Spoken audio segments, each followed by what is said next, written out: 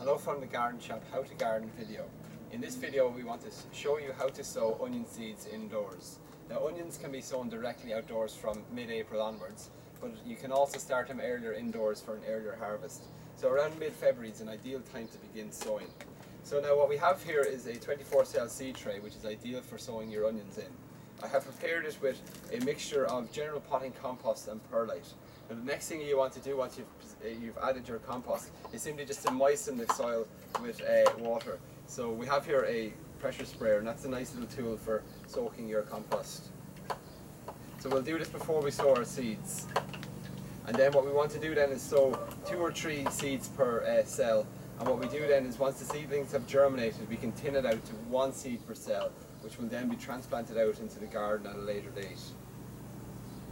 So we're going to give it a good soaking in now, and now I'm just going to get my seeds. So I've already sown the first three rows, now I'm just going to sow the last row here.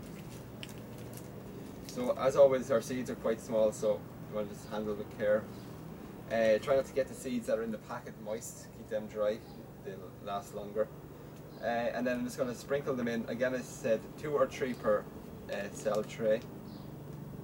Okay, and once they're in place then we will cover them over with a, a little bit of compost. So I'm just getting a small bit of compost here. And we're just going to lightly cover all our seeds with a little fine coating of compost. You want to go for the crumbliest of stuff. Uh, this is, allows for easier germination of your little seedlings. They should have germinated then in about two weeks time. And after that point, uh, once they're large enough to handle, we're talking around mid-April time, they will be ready for transplanting out into the vegetable garden. And you want to space them roughly about 10 to 15 centimetres apart.